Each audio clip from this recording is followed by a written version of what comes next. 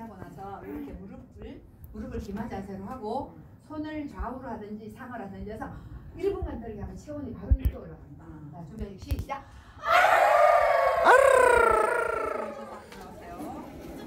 시작. 자,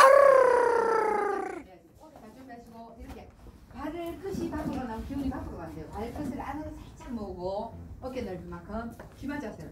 자, 손을 마주 흔들면서 1분간 하시겠습니다. 자, 준비하시고 시작. 그랑프리. 아,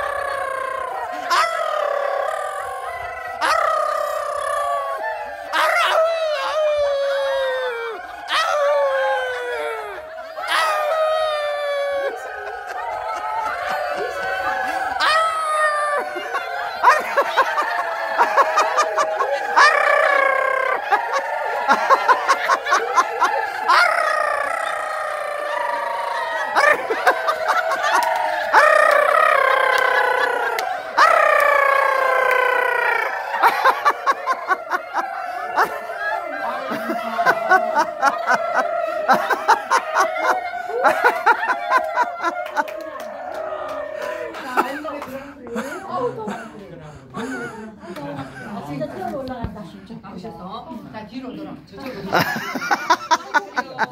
차려 다시 나를 주시고 자 이쪽으로 선생님 안 그래도 이렇게 갈 거지만 네. 여러 명통이다가 자 준비하시고 어깨 넓이로 기만 자세요. 여러분 가만 쉬면 됩니다. 아, 네. 네 신선수도 막 시켜요. 자 귀만 자세로 준비 시간 되겠습니다. 기만 자세로 준비 시작.